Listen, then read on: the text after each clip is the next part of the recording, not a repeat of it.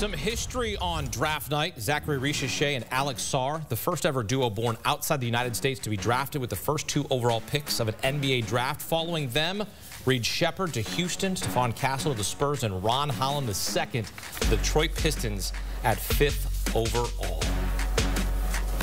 CBS Sports HQ is presented by Jeep. There's only one back here with Adam Finkelstein, Gary Parrish, and Avery Johnson. Avery, the biggest winner from round one of the NBA draft. Who you got? I'm going with the Minnesota Timberwolves. Okay. And they've had a winning season, you know, to make it to the Western Conference Finals and now have an opportunity when they draft Rob Dillingham and then also Terrence Shannon Jr. They take Dillingham at eight, Terrence Shannon Jr. at 27, both elite scorers, guys that can score at all three levels. They can play in transition uh, in the half court.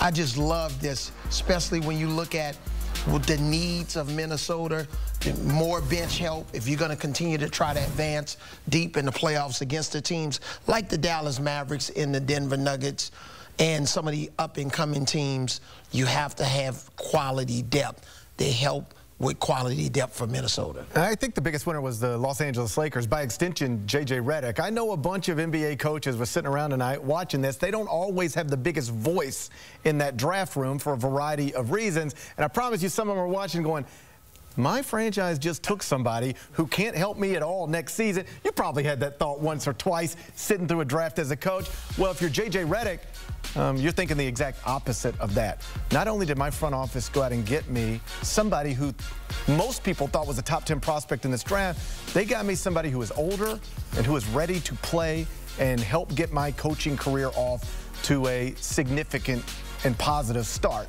Uh, J.J. Redick in Los Angeles, they didn't draft some project to sit on his bench. They drafted somebody who, yeah, will probably come off of his bench, but come off his bench, be in the rotation, make shots from all over the court, and help Anthony Davis and LeBron James go wherever it is they're going.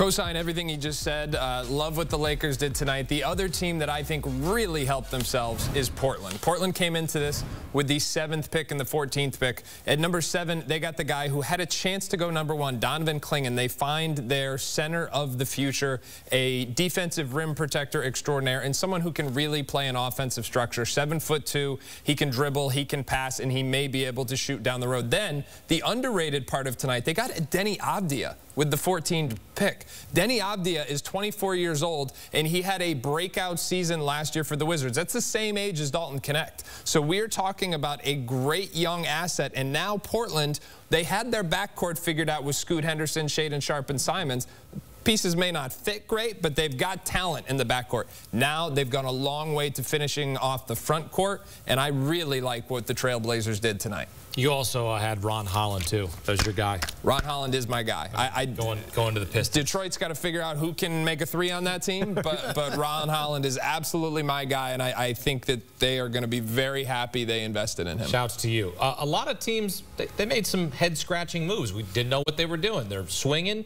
Perhaps they'll hit a home run. Perhaps they'll miss you know, I'm not a big fan of calling teams losers or, or people losers, Avery. So I'm going to phrase the question this way. Who disappointed you the most in round one of the NBA draft? Well, I'm going to say who had one of the biggest question marks with their selection. I'm going to go with the Milwaukee Bucks, and that's my buddy Doc Rivers now.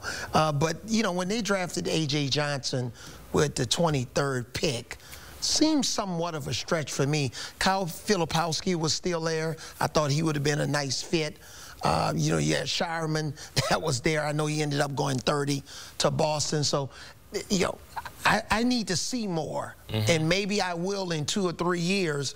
But what I saw on film with this young man, I know he had an opportunity, I think, to go to Texas, mm -hmm. but I thought this was somewhat of a stretch. Yeah, I don't mean to double up, but I was surprised and disappointed, I guess, um, in what Milwaukee did, if only because you're watching the Celtics win a championship and then add somebody who can actually help. You watch the Knicks make a big move to get better, and then in Milwaukee, where you've got a core of, of Giannis and Dame, you select somebody who, with all due respect, on paper doesn't look like he's going to be able to help them in any meaningful way next season. Uh, the Bucks have flourished with a three-point shooting center who is aging. There's a three-point shooting center available to them. He's available tomorrow night. Kyle Filipowski, that would have made more sense to me at 23 than going in this direction. Um, you know, I bet you Giannis Antetokounmpo isn't as excited as he otherwise would have been sitting at home tonight watching this thing. Not disappointed in, disappointed for. There you go. Kyle Filipowski and Tyler Kolek. Yeah. Uh, Tyler Kolek has been one of the best point guards in college basketball in each of the last two seasons. Um, I think there was a lot of buzz that he was going to be a first-round pick tonight. I think he had earned that designation because of the fact that he's a maestro playing the pick and roll, because he's so important for a team's culture, because he's ultra tough. Again, those are the guys you don't want to bet against. But I'll tell you this. If you can get over that disappointment of the first night, there are a bunch of guys on the board in night two that are legitimate NBA players. There are also a bunch of guys who got picked tonight who are not going to be in the NBA next year. They may have guaranteed contracts, but they're going to be in the G League. I think whoever takes Tyler Kolek tomorrow night is getting an NBA player next year.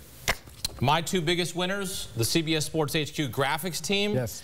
and Gary Parrish's tie. Hey. Shouts to your wife who helped pick, the, pick She that out. picked it out. I'll be Uh, honest. Every she's time, great. every time she starts putting stuff Yep. together, I She look at it doing. and I go, "Are you sure?" Yeah, she does. And she, she does. says, "Just trust me." I've so met her. She's a lovely young, la young lady. I'm gonna call her young lady because I'm all respect here.